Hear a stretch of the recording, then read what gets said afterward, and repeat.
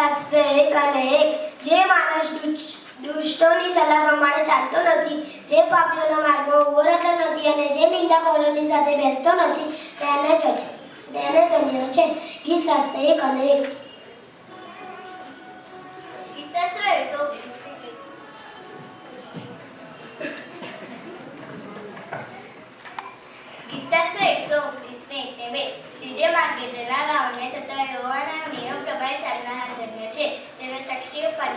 પાડનાર છે. તેઓ પૂર્ણ હૃદયથી તેને શોધે છે. ગીતશાસ્ત્ર એકસો ઓગણીસને કહેવે.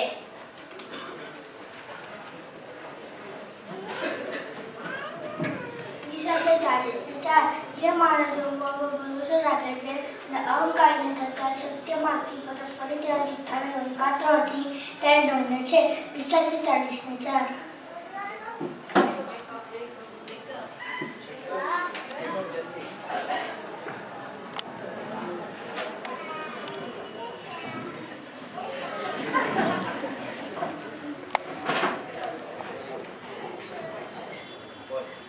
લોક અજ્ઞાન અને તે પણ તેને કહ્યું કે તે કરતા જે કોઈ ડમરી વાત સાંભળે છે અને પાળે છે તેને ધન્ય છે લોક અજ્ઞાન અને તે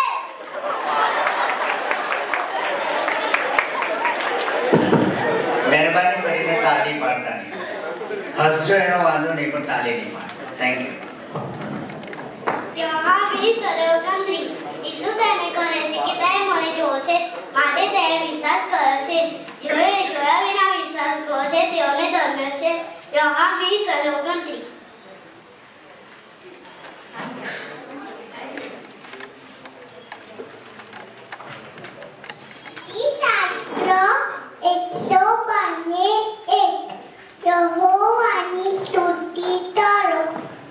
માણસ યહોવાનો ભક્ત છે અને તેની આનંદ પાવામાં બહુ થાય છે તેને ધન્ય છે શાસ્ત્ર એકસો બંને એક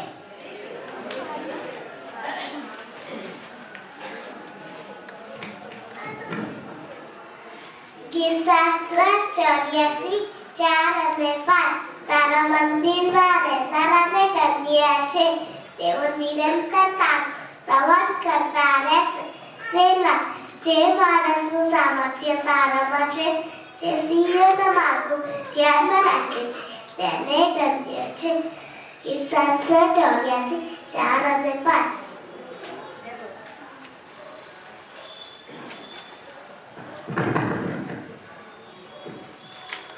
શાસ્ત્ર ચાર જેને તું પસંદ કરીને પાસે લાવે છે જે તારા આવરોમાં વસે છે તે ધન્ય છે અમે તારા ઘર એટલે તારા મંદિરના પવિત્ર સ્થળની ઉત્તમતાથી તૃપ્ત થઈશું શાસ્ત્ર પાચક ને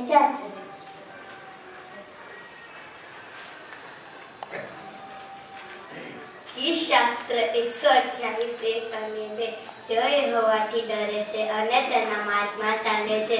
તે સર્વને ધન્ય છે. તું તારે હાથે મહેનત કરીને ખાશે. તું સુખી થશે અને તારું કલ્યાણ થશે. કિશ શાસ્ત્ર એકસો અઠ્યાવીસ એક અને બે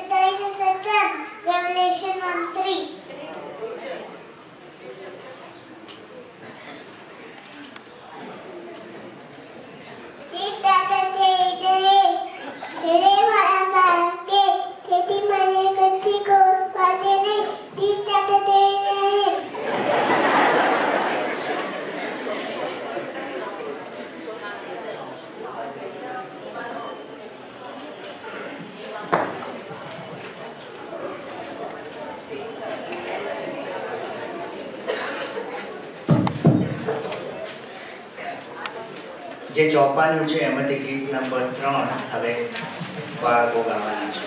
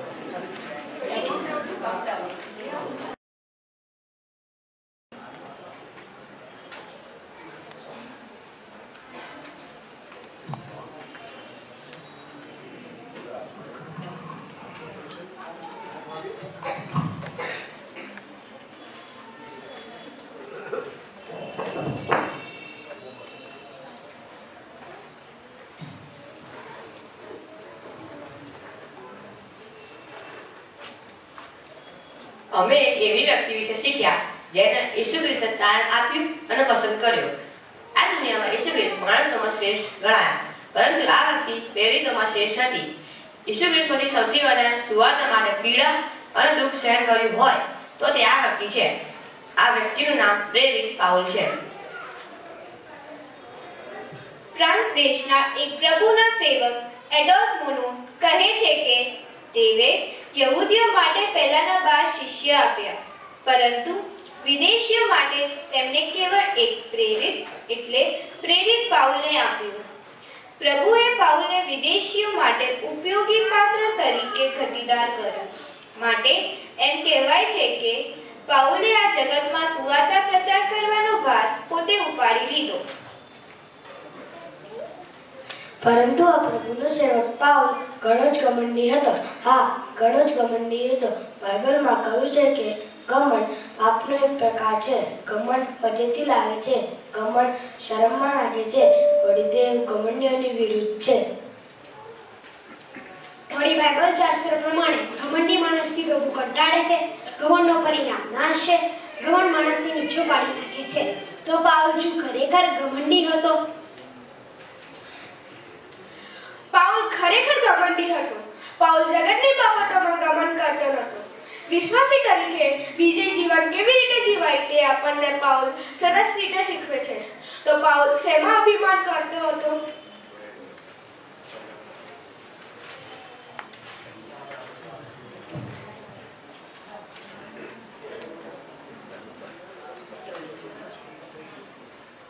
પાઉલ તારણ પામ્યા પછી પોતાનું જીવન ત્રણ મુખ્ય ધ્યેય સાથે જીવ્યો. પહેલું પહેલું કોરિન્થી પાંચ અને નવ. ઈસુ ખ્રિસ્તને પસંદ પડે એવું જીવન. બીજું, રૂમી પંદર ને વીસ.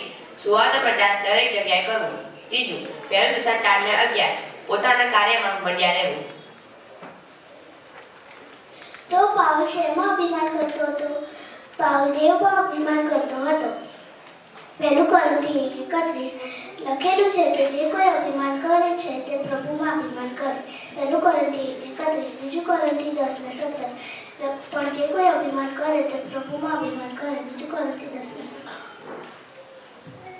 તો પાઉલ શેમાં અભિમાન કરતો હતો પાઉલ પ્રભુ ઈસુમાં અભિમાન કરતો હતો રૂમી પંદર અને સત્તર તેથી દેવને અર્થે કરેલા કાર્યો સંબંધી મને ખ્રિસ્ત ઈસુમાં અભિમાન કરવાનું કારણ છે રૂમી પંદર અને સત્તર રૂમી બે સત્તર અને અઢાર પણ જો તું યહૂદી કહેવાય છે ને નિયમશાસ્ત્ર પર આધાર રાખે છે ને દેહ વિશે અભિમાન ધરાવે છે, તેની ઈચ્છા જાણે છે અને નિયમશાસ્ત્ર શીખેલો હોય ને સારું નરસું પારખી જાણે છે. રૂમી બે સત્તર અને અઢાર. તો પાઉલ શેમાં અભિમાન કરતો હતો? પાઉલ પોતાની નિર્ભરતામાં અભિમાન કરતો હતો. બીજું કોરંતી બાર અને નવ. અને તેને મને કહ્યું છે કે તારે વાસ્તે મારી કૃપા બસ છે, કેમ કે મારું સામર્થ્ય નિર્બળતામાં સંપૂર્ણ થાય છે. ક્રિસ્તનું પરાક્રમ મારા પર આવી રહે. એ સારું. ઉલટું હું ઘણી ખુશીથી મારી નિર્બળતા વિશે અભિમાન કરીશ. બીજું કરંતી બાર અને નવ. બીજું કરંતી અગિયાર અને ત્રીસ. જો અગર મારે અભિમાન કરવાની જરૂર પડે, તો જે બાબતોમાં હું નિર્બળ છું, તેનું હું અભિમાન કરીશ. બીજું કરંતી અગિયાર અને ત્રીસ. તો પાઉલ શેમાં અભિમાન કરતો હતો? પાઉલ પ્રભુ ઈસુ ખ્રિસ્તના વડસ્તંભમાં અભિમાન કરતો હતો. ગલાટી છ ને ચૌદ. પણ પણ આપણા પ્રભુ ઈસુ ખ્રિસ્તના વડસ્તંભ સિવાય હું બીજા કશામાં અભિમાન કરું? એવું ન થાવ તેથી કરીને મારા જગત મારા સંબંધી જગત વટસ્તંભને જણાવ્યું છે. અને જગત સંબંધી હું ગલાટી છ ને ચૌદ. પાઉલ શેમાં અભિમાન કરતો હતો? પાઉલ દુઃખોમાં પણ અભિમાન કરતો હતો. રૂમી પાત્ર નેચાર પરંતુ અને માત્ર એટલું જ નહીં, પરંતુ આપણે વિપત્તિમાં પણ આનંદ કરીએ છીએ. કેમ કે આપણે જાણીએ છીએ કે વિપત્તિ ધીરજની અને ધીરજ અનુભવને અને અનુભવ આશાને ઉત્પન્ન કરે છે. રૂમી પાત્ર નેચાર તો પાઉલ સેવા અભિમાન કરતો હતો. પાઉલ મહિમાની આશામાં અભિમાન કરતો હતો. પહેલી થેસા બે અને ઓગણીસ. કેમ કે અમારી આશા કે અભિમાનનો મુકુટ શું છે? શું આપણે પ્રભુ ઈસુ ખ્રિસ્તના આવવાના સમયે તેની સમક્ષ તમે જ એ મુકુટ નથી? પહેલું થેસા બે અને ઓગણીસ. એફએસી એક અને ચૌદ એ આત્મા દેવના પોતાના દ્રવ્ય રૂપી લોકોના ઉદ્ધારના સંબંધમાં તેની મહિમા અર્થે વારસા, આપણા વારસાનું પાનું છે એફએસી એક અને તો પાઉલ શેમાં અભિમાન કરતો હતો? પાઉલ વિશ્વાસ અને મંડળીમાં અભિમાન કરતો હતો. બીજું દશા એક અને ચાર. માટે તમારા પર જે સર્વ થાય છે તથા જે વિપત્તિ તમે વેઠો છો, તેઓમાં તમે સહનશીલતા તથા વિશ્વાસ રાખો છો. તેને લીધે અમે પોતે તેની મંડળીમાં તમારા વખાણ કરીએ છીએ. બીજું દશા એક અને ચાર. બીજું કોરંથી સાત અને ચાર તમારી સાથે હું બહુ છૂટથી બોલું છું. તમારે લીધે હું બહુ અભિમાન કરું છું. હું દિલાસાથી ભરપૂર થયો છું. અમારી સર્વ વિપત્તિઓમાં મારું અંતકરણ આનંદથી ઉભરાઈ જાય છે. બીજું છે સાત બીજું કોરંથી સાત અને ચાર આવા પ્રભુમાં ગમન કરનાર પાવ નવો જન્મ પામ્યો. ત્યારથી પોતાના મરણ સુધી તે પોતાને પાપીના મુખ્ય પાપી ગણે છે. પોતાની નિર્ભરતામાં અભિમાન કરે છે. પોતાના સગળા દુઃખોમાં રેતાડનાર ઈસુ ખ્રિસ્તને છોડી દેતો નથી. પણ તે દુઃખોમાં આનંદ કરે છે. પાઉલ સતત સુવાર્તા પ્રચાર કરતો રહ્યો અને પ્રભુ પરના વિશ્વાસનો પર સ્થિર રહ્યો. બીજો તીમોથી ચાર સાત ને હું સારી લડાઈ લડ્યો છું. મેં દોડ પૂરી કરી છે. વિશ્વાસ રાખ્યો છે. હવે મારે સારું નહીં પણ આનું મંગળ રાખી મૂકવામાં આવ્યો છે. તેથી દાડે પ્રભુ સાહેબ કરના ન્યાયાધીશ છે. તે મને આવશે તથા મને જ નહીં પણ જે સર્વ તેની પ્રગટ થવાની ઈચ્છા રાખે છે. તે ભણાવશે. બીજો દી મોદી ચાર સાત શું તમે નિર્બળ છો? શું તમે એકલા છો? શું તમને એવું લાગે છે કે તમે અભિમાન નહીં કરી શકો? એ અસંભવ છે? તો પ્રભુ કહે છે કે મારા માટે સર્વ સંભવ છે. બાળકો, જે જે તમને કહ્યું તે ચાર નંબરના ગીત દ્વારા ફરી એકવાર યાદ દેવડાવવા ચાહે છે.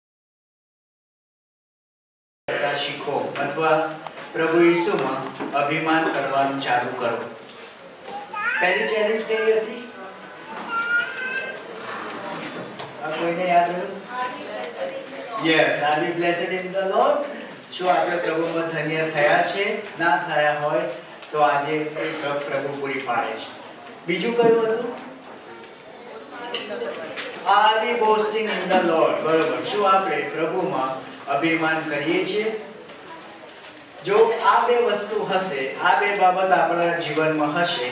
તો હવે જે સિનિયરના બાળકો તમને કહેવાના છે કે બતાવવાના છે, તે ખરી પડશે. સિનિયરના બાળકો તમને એવી વ્યક્તિ વિશે કે એવી બાબત વિશે કહેવાના છે જે અતિ અગત્યની છે. એક વખત એક પ્રભુના સેવક ડૉક્ટર જે એચ ક્રોવેલ પ્રભુની સેવા માટે એક વહાણમાં બેઠા. એમની ઉંમર કેવળ સોળ વર્ષની હતી. પરંતુ તેઓ ધાર્મિક કુટુંબમાંથી આવતા હતા. તેમના માતા પિતા પ્રભુ પર વિશ્વાસ કરનારા અને પ્રાર્થનાવાદી હતા. માટે જે જ્યારે તેઓ સેવા માટે બહાર નીકળ્યા ત્યારે તેઓ જ્યારે ઘરમાંથી નીકળે એ પહેલા તેમની માતાએ તેને કહ્યું, દીકરા તું પ્રભુની સેવા માટે જાય છે? મને ઘણો આનંદ થાય છે. દુઃખ પણ થાય છે. પણ એક વસ્તુ યાદ રાખજે. ગમે તેટલી મુશ્કેલીઓ આવે ગમે તેટલી સંકળામણ આવે, ગમે તેટલા દુઃખો આવે, પ્રભુની ખાતર જો તે આવતા હોય, પ્રભુની ખાતર જો તે આવતા હોય, તો મહેરબાની કરીને તે દુઃખ તું સહન કરજે. તેમાંથી પાછો ન પડીશ. અને આ જે બાબત છેલ્લે મિસ્ટર ક્રોવેલના મમ્મીએ જે કહે તે તેના મગજમાં સરાસર ઉતરી ગઈ. અને તેઓ એ બાબત લઈને વહાણ પર ચડ્યા. વહાણમાં બાર ક્રૂ મેમ્બર હતા કેપ્ટન સાથે. અને તેઓ આગળ વધતા હતા ત્યારે દરરોજ દરરોજ આ ભાઈ ક્રોવેલ દિવસમાં ત્રણ વાર પ્રાર્થના કરવાનું ચૂકતા નહીં. એ કેવી રીતે, આવી રીતે બેઠા બેઠા નહીં એક ખૂણામાં જાય, ત્યાં ઘૂંટણે પડે, પ્રાર્થના કરે. ન કેવળ આગલી સેવા માટે, પણ આ બાર જણા માટે પણ. અને આ જે બાર ક્રૂ મેમ્બર હતા, તેઓ ઘણા જ ખ્રિસ્ત વિરોધી હતા. અને તેમણે આ ક્રોવેલ ભાઈને દુઃખ આપવાનું શરૂ કર્યું. કેટલીક વાર જે વહાણમાં લાકડા પડ્યા હોય, જે માછલા વગેરેને હટાવવા માટે હોય, એ લાકડા એમની પર ફેંકે. ભાઈ તો પ્રાર્થના કરતા હોય, આંખો બંધ એમને ખબર નહીં કોણે માર્યું. પણ તેઓ બોલતા નહીં. પ્રભુને કે, પ્રભુ, તેઓને માફ કર. કારણ કે તેઓ જાણતા નથી તેઓ શું કરી રહ્યા છે. ઘણીવાર તેઓ દરિયાનું પાણી ડોલમાં લઈને એમની ઉપર છાંટે કે નાખી દે આખી ડોલ. તો પણ આ ભાઈ ક્રોવેલ પ્રાર્થના ચૂકતા નહીં, પ્રાર્થના બધી ઉઠતા નહીં, ગુસ્સે થતા નહીં, પરંતુ આ લોકો માટે તેઓ પ્રાર્થના કરતા અને આમ આગળ ચાલતા ચાલતા એક દિવસ આ ભાઈ ક્રોવેલને આ બાર જણામાંથી દસ જણાએ નક્કી કર્યું કે આપણે એને પતાડી દઈએ. આ જોઈએ નહીં આપણને. આ માનતો જ નથી. આપણે આ જે આપણું ડેક છે એની ઉપર તેને દૂર કરી માટે આ દસ જણાએ ભેગા થઈને એમને પહેલાં તો બાંધ્યા અને બાંધીને ઓગણચાળીસ ફટકા માર્યા. He was he he was in pain અતિશય દર્દને કારણે તેઓ ઘણા દુઃખી હતા. છતાં તેઓએ કહ્યું, પ્રભુ, આ દસ જણાને અને જે બે બીજા ક્રૂ મેમ્બર છે, તેઓને માફ કર. કારણ કે તેઓ જાણતા નથી, તેઓ શું કરી રહ્યા છે. તમે એમને તારણ આપો. તમે એમની આંખો ખોલો.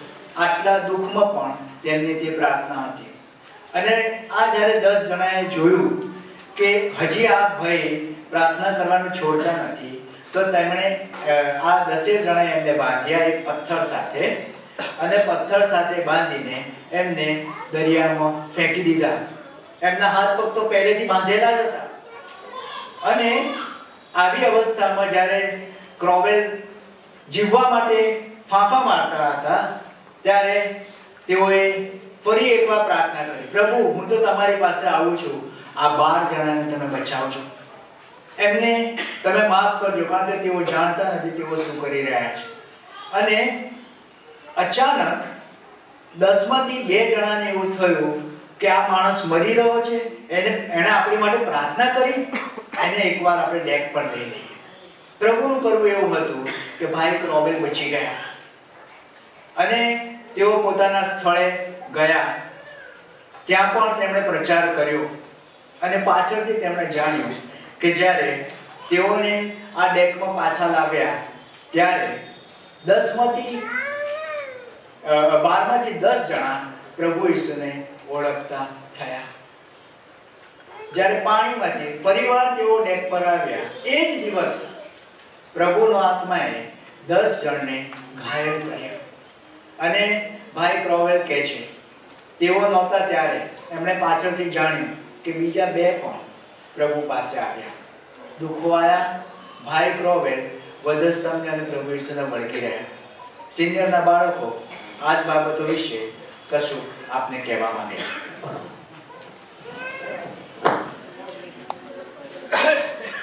વિકાસ વિકાસ, વિકાસની વાતો થઈ રહી છે. જ્યારે અમારી સંડે સ્કૂલમાં તો વિશ્વાસની વાત થઈ રહી છે. તો વિશ્વાસ એટલે શું?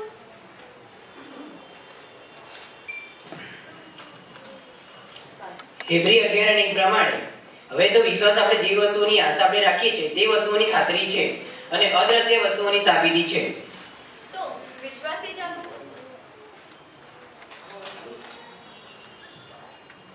તો વિશ્વાસથી ચાલવું શું અગત્યનું છે? ધ્યાનથી સાંભળો. વિશ્વાસ વગર દેવને પ્રસન્ન કરવો એ બનતું નથી. કેમ કે જે પણ કોઈ તેની પાસે આવે છે તેણે તે છે અને જેઓ તેને ખંતી શોધે છે તેઓને તે ફળ આપે જ છે. એમ વિશ્વાસ કરવો જોઈએ. એવરી અગિયાર અને છ. તો વિશ્વાસ કોના પર કરવો? પહેલું દેવ પર વિશ્વાસ કરો કે આપણા સંબંધનું જે છે તે સર્વ તેની ઈચ્છા અને સમય પ્રમાણે તે પૂર્ણ કરશે જ. બીજું દેવના વચન પર વિશ્વાસ રાખો. આકાશ ને પૃથ્વી જતા રહેશે પણ મારી વાતો જતી રહેશે નહીં. માથી ચોવીસ ને પાંત્રીસ. તે એક એક વચન પૂર્ણ કરશે જ.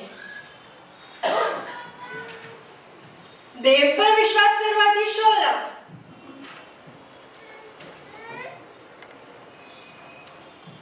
એફએસસી બે અને આઠ પ્રમાણે વિશ્વાસથી તારણ મળે છે. હેબ્રી અગિયાર અને છ પ્રમાણે વિશ્વાસથી દેવ પ્રસન્ન થાય છે. પ્રેરિત પંદર અને નવ પ્રમાણે વિશ્વાસથી મન પવિત્ર થાય છે. રૂમી પંદર અને તેર પ્રમાણે વિશ્વાસથી શાંતિ અને આનંદ પ્રાપ્ત થાય છે. પહેલો યોહાન પાંચ અને ચાર પ્રમાણે વિશ્વાસથી વિજય મળે છે. રૂમી પાંચ અને એક પ્રમાણે વિશ્વાસથી ન્યાય બનીએ છીએ. ગીતશાસ્ત્ર એકસો સોળ અને દસ પ્રમાણે વિશ્વાસથી સ્તુતિ પ્રાર્થના અને સાક્ષીનું જીવન મળે છે. વિશ્વાસથી કાર્ય કરનાર ભાઈ બહેનોનું નામ બાઇબલમાંથી આપી શકો? નો વરસાદ જોયો ન હતો તો પણ વહાણ તૈયાર કર્યું. ઇબ્રાહિમ પોતે ક્યાં જાય છે તે ન જાણ્યા છતાં વિશ્વાસથી આધીન થયો. યુસફ મરતી વેળાએ પોતાના હાડકા વિશે ઇસરાયલ પુત્રોને કહ્યું ગિદિયોન ત્રણસો માણસો વડે એક લાખ પાંત્રીસ હજાર વિદ્યાર્થીઓને હરાવ્યા. રૂથ વિશ્વાસથી ઇઝરાયલના દેવની પાંખો તળે આશ્રય લેવાને આવી અને પૂરો બદલો પામી. એસ્તરે વિશ્વાસી પ્રાર્થના દ્વારા હામાનની કોઈ યુક્તિઓને ઊંધી વાળી દાનિયેલ વિશ્વાસથી પ્રાર્થના કરીને સિંહોના મોં બંધ કર્યા. હસકિયા વિશ્વાસથી ઇઝરાયલમાં જાગૃતિ આણી. નહેમિયા વિશ્વાસથી યરુશાલેમનો કોટ બાવન દિવસમાં ફરી બાંધ્યો. પાઉલ અનેક અનેક દુઃખો વેઠીને ઘણી મંડળીઓ સ્થાપી આ તો બે વર્ષ પૂર્વેની વાત. આ જમાનામાં એવા કોઈ વિશ્વાસના વીરો ખરા? હા, આ જમાનામાં પણ ઘણા વિશ્વાસના વીરો થઈ ગયા. જેમાંના એક ભાઈ જોર્જ મુલરની વાત યાદ દેવડાવો. તે જેઓ અનાથાશ્રમ ચલાવતા હતા. તેઓએ તેમના જીવનકાળ દરમિયાન દસ લાખ પાઉન્ડ પ્રાર્થનાના જવાબમાં મેળવ્યા. એક વખત વહાણમાં યાત્રા કરતા અતિ ભારે ધુમ્મસ હોવાને કારણે સમયસર ક્યુબેક પહોંચવું અશક્ય હતું. તેથી તેમણે વહાણના કપ્તાનની સાથે પ્રાર્થના કરવા સૂચન કર્યું. તેમની પ્રાર્થના પછી, જ્યારે કપ્તાને પ્રાર્થના શરૂ કરી, ત્યારે જોશ મુલરે તેમને વાર્તા કહ્યું, તમે પ્રાર્થના કરાવશો નહીં. કારણ કે પ્રભુ પ્રાર્થના સાંભળે છે તેવો વિશ્વાસ તમને નથી. વળી હું મારા પ્રભુને પાછલા સત્તાવન વર્ષથી ઓળખું છું. તેઓ મને કદી પણ નિષ્ફળ ગયા નથી. દરવાજો ખોલ અને જો પ્રભુએ ધુમ્મસ દૂર કરી દીધું હશે, કપ્તાને દરવાજો ખોલીને જોયું, તો ખરેખર ધુમ્મસ દૂર થઈ ગયું હતું અને તેઓ સમયસર ક્યુબેક પહોંચી ગયા હતા. માર્ક નવ ત્રેવીસ. ભાઈ, ભક્તસિંહના જીવનના અનેક દાખલાઓમાંથી એક દાખલો તમને વિશ્વાસી જણાવો. ચેન્નાઈમાં ઓગણીસો ચુમ્માળીસના પવિત્ર મેળા દરમિયાન ચોખાની ભારે તંગી હતી. મેળામાં ભાગ લેનાર બે હજાર લોકોને ખોરાક પૂરા પાડવાની જવાબદારી હતી. આ જરૂરિયાત પૂરી પડે તેટલા તેટલી ચોખાની ગુણો રેશન અધિકારીઓ આપવાની ના પાડી હતી. યહોશમાના વડીલોએ બીજી વાર અરજી કરી તો પણ તેની વિનંતી માન્ય કરવામાં આવી નહીં. કાળા બજારમાંથી તેઓ ચોખાની ગુણો ખરીદવા જાતા નતા તે પરિસ્થિતિમાં શું કરવું તે તેઓ જાણતા નતા તેથી તેઓએ પ્રાર્થના કરી. ત્યારબાદ ભાઈ ભક્તસિંહને એક વિચાર આવ્યો. અનાજના ભંડારની જવાબદારી જે ભાઈને સોંપી હતી તે ભાઈને તેને બોલાવીને કહ્યું કે ચોખા જોખીને જેટલી ગુણો બાકી છે, તે ગણીને કહે. તે ભાઈએ ચોકસીપૂર્વક જોખીને જોયું તો પાંચ ગુણો વધારે હતી યુદ્ધના એ દિવસોમાં સખત રેશનિંગ હોવાના કારણે કેટલા ચોખા ખરીદ્યા અને કેટલા વપરાયા, તેનો ચોક્કસ હિસાબ રાખવો પડતો હતો. તે હિસાબ બતાવતો હતો કે દિવસ માટે કેટલી ગુણો બાકી છે. ભાઈ ભક્તસિંહે કહ્યું કે બીજી એક વાર ગણતરી કરવામાં આવે. તે ભાઈએ ત્રણ વાર ગણતરી કર્યા બાદ માલુમ પડ્યું કે કોઈ માનવિક રીતે જેટલી ગુણો હોવી જોઈએ, તેના કરતાં પાંચ ગુણો વધારે છે. પરિણામે આવેલા મહેમાનોની આગળ શરમ અને ગુસ્સો મૂકવાને બદલે સભા પૂરી થયા બાદ પણ એક ગુણ ચોખાની વધી. પ્રભુની સુધી થાવ વિશ્વાસની વાતો તો ઘણી સાંભળી. છતાંય દેવ પર શંકા આવતી હોય છે. તેનું કારણ શું હશે? શંકા અને બીક ઉત્પન્ન કરવાનું કામ શેતાન કરે છે. તે આપણી દ્રષ્ટિ પ્રભુ ઈશ્વર પરથી હટાડી પરિસ્થિતિઓ પર લગાડે છે, જેથી આપણે બીએ છે. પણ જેને વચન આપ્યું છે એ વિશ્વાસુ છે. દેવનું વચન આપણા વિશ્વાસની વૃદ્ધિ કરે છે. રૂમી દસ અને સત્તર, એ પ્રમાણે સંદેશો સાંભળવાથી વિશ્વાસ વિશ્વાસ આવે છે. આ અવિશ્વાસને દૂર કરવા માટે આપણે પ્રભુ પાસેથી મદદ માંગીએ. ઓ પ્રભુ, અમારા અવિશ્વાસ માટે અમને મદદ કર. માર્ક નવ ત્રેવીસ. ઈશુએ કહ્યું કે વિશ્વાસ રાખનારે તો સર્વ શક્ય છે. સાંભળીએ વિશ્વાસનું એક સુંદર ગીત.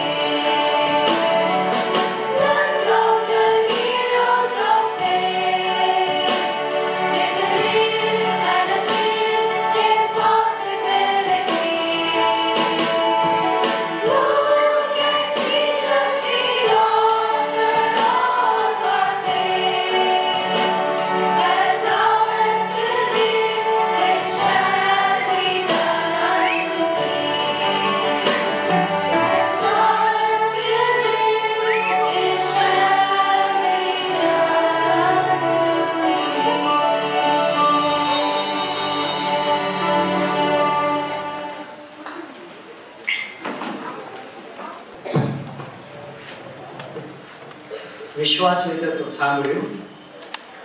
પણ મને એવું લાગે છે આપણા બધાના હાથમાં આખી દુનિયા છે. કેટલા એવું માને છે. હાથ જોડો આપણી દુનિયામાં આખી દુનિયા છે. આરવી. મારી, મારા, મારી પાસે છે આખી દુનિયા આટલા આટલા થોડા પાસે જ છે હા? કોઈની પાસે સેમસંગની દુનિયા હશે? કોઈની પાસે સોનીની દુનિયા હશે? હા? કોઈની પાસે બીજું કોઈ એપલ હશે? લેનેવો હશે? ઓકે આ બધી દુનિયા છે. એક કંપની જે મોબાઈલની છે તેણે બહુ સરસ એડનો થીમ આપ્યો છે. રખલો દુનિયા મુઠ્ઠીની. હા? It is in our hand બીજી એક કંપની છે એપની જેણે કહ્યું an idea can change your life એટલે એક વિચાર તમારો આખી આખી તમારી જિંદગી બદલી શકે છે. મોબાઈલે ખરેખર લોકોની દુનિયા બદલી કાઢી છે. લોકોની દુનિયા બદલી કાઢી છે. અને એ બદલનાર તે એક જ બાબત છે જેને ગુજરાતી મને નથી આવડતી ઇન્ફોર્મેશન ટેકનોલોજી આઈટી જેને કહે છે. અંગ્રેજીમાં મૂળાક્ષર છે આઈ અને મોબાઈલને કોઈ બી રીતે જોશો, તે આઈ જ રહેવાનો છે. સીધો હશે કે ઊભો હશે? Whether vertical, horizontal, diagonal it will remain i.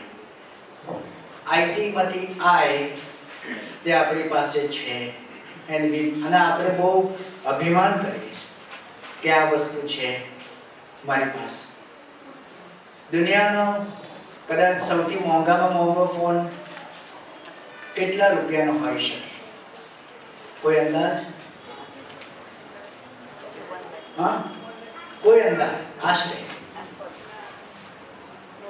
દુનિયાના દસ મોંઘામાં મોંઘા મોબાઈલ છે જેની અંદર શરૂઆત થાય છે ઇઠ્યાસી હજાર યુએસ ડોલરથી અને અંત થાય છે એંશી લાખ ડોલર. એટલે કે છપ્પન હજાર કે અઠ્ઠાવન લાખથી સોરી અઠ્ઠાવન લાખથી શરૂ કરીને પાંચ કરોડ અઠ્યાવીસ લાખ સુધીના મોબાઈલ મળે છે અને લોકો લે છે. ઇઠ્યાસી હજારનો ડોલરનો જે ફોન છે, એની ખાલી બસો નંગ દુનિયામાં બને છે. મને ખબર નથી આઠ એટી મિલિયન વાળાને કેટલા નંગ બનતા હશે? કહેવાનો મતલબ એ છે, આજે ધારો કે કોઈ આપણને આ એંશી લાખ આઈફોન જ છે પણ આઈફોન કંપની તમને આવીને કહે, તમારું બાળક મને આપી દો. હું તમને પાંચ કરોડ અઠ્યાવીસ લાખ રૂપિયા આપીશ. અથવા આપણને આવીને કહે this cheque of five crore twenty eight lakh rupees પાંચ કરોડ અઠ્યાવીસ લાખ રૂપિયાનો ચેક લો અને તમે પોતે મારી પાસે આવી જાઓ. I want to own you જશો? મોકલશો આપના બાળકોને? હા કે ના? અત્યારે તો ના પડાય છે. But we so easily give mobile phones to our children. સિનિયરના બાળકો મોબાઈલ ફોન વાપરવા વિશે અમુક વસ્તુઓ તમને અને મને કહેવા માંગે છે. કિશોરોને જો કોઈ પૂછે કે તમને ગિફ્ટમાં શું જોઈએ, તો અમારો જવાબ મોબાઈલ. પણ જો તેનો ઉપયોગ યોગ્ય રીતે ન થાય, તો મોબાઈલ ફોન ઘણા બધા ખરાબ પરિણામ લાવી રહ્યો છે. જેમ કે મેડિકલ રિસર્ચ પ્રમાણે પહેલું, ટીન ટેન્ડનાઇટિસ. અતિશય ટેક્સ્ટિંગ કરવાથી હાથમાં ગરદનમાં અને કમરમાં દુખાવો થાય છે. અને મેડિકલ ભાષામાં ટેન્ડનાઇટિસ કહેવાય, જે આગળ જતા આર્થરાઇટિસનો ભોગ બને છે. બીજું સ્ટ્રેસ દિવસનો ઘણો સમય મોબાઈલ ફોન સાથે વિતાવવાનું પરીક્ષણ થાય જ. તેનાથી કોઈ લાભદાયી કામ થતા નથી, બલકે માનસિક તણાવનો ભોગ બને છે. ત્રીજું ill health and fatigue mobile ફોનનો ઘણો વપરાશ કરવાથી શિરદર્દ કમરદર્દ ઓછી યાદશક્તિ અને થાકના લક્ષણ જણાય છે. ચોથું એંગર એન્ડ ઇરિટેબિલિટી મોબાઈલ ફોનમાં રમાતી કેટલીક રમતોને કારણે બાળકો ચીડિયા અને ગુસ્સાવાળા બની જાય છે. પાંચમું સ્યુસાઇડ બ્લ્યુવેલ જેવી રમતો એક વર્ષમાં બસો બાળકોમાં આપઘાત માટે જવાબદાર છે. રિસ્ક ઓફ કેન્સર WHO એટલે વર્લ્ડ હેલ્થ ઓર્ગેનાઇઝેશન પ્રમાણે વધારે સમય મોબાઈલ હાથમાં રાખવાથી તેમાંથી નીકળતા ઇલેક્ટ્રોમેગ્નેટિક રેડિયેશન્સ કિશોરોના વિકસતા શરીરમાં મગજના મગજના કેન્સરની શક્યતાઓ વધારી દે છે. ઇન્ક્રીઝિસ એન્ઝાઇટી મિત્રો, તરત જવાબ ન આપે તો ચિંતા વધી જાય છે. લોનલીનેસ સાથે ઉભેલા હોવા છતાં કિશોરો મોબાઈલમાં એટલા તરવણ હોય છે કે એકબીજાનું ધ્યાન પણ હોતું નથી. પરિણામે એકલવાયાપણાનો ભોગ બને બને છે. એક્સિડન્ટ્સ ડ્રાઇવિંગ કરતી વખતે મોબાઈલ પર વાત કરતા ઘણા એક્સિડન્ટ્સ થાય છે. અમેરિકાએ મોટાભાગના કિશોરોના મૃત્યુનું કારણ મોબાઈલને ગણાવ્યું છે. તો ચેતો પહેલું, કેટલો સમય કે કેટલા નાણાં મોબાઈલ પાછળ ખર્ચવા યોગ્ય છે? તે નક્કી કરો. બીજું ડ્રાઇવિંગ કરતા કે મીટિંગમાં મોબાઈલ ફોન બંધ રાખો. ત્રીજું સૂઈ જાઓ, ત્યારે પણ મોબાઈલ ફોન બંધ કરી દો. જેથી સારી ખલેલ વગરની ઊંઘ આવે. ચોથું, રોજ વીસ મિનિટથી વધુ વાત નહીં કરવાનો નિર્ણય લો, જેથી કેન્સર જેવી ભયાનક બીમારીઓથી બચી શકાય. પાંચમું મોબાઈલ ફોને તમારો ઈશ્વર બનાવશો નહીં, બલકે ઈશ્વર સાથે પ્રાર્થનામાં તથા બાઇબલ વાંચનમાં અને સુવાર્તા પ્રગટ કરવામાં વધારે સમય વિતાવો. તે જ અનંતકાળ ટકશે સ્વર્ગમાં મોબાઈલ નહીં મળે. કેવું સુખી, કેવું ધન્ય બાળક છે. મોબાઈલના ક્રેઝથી રાખે પોતાને.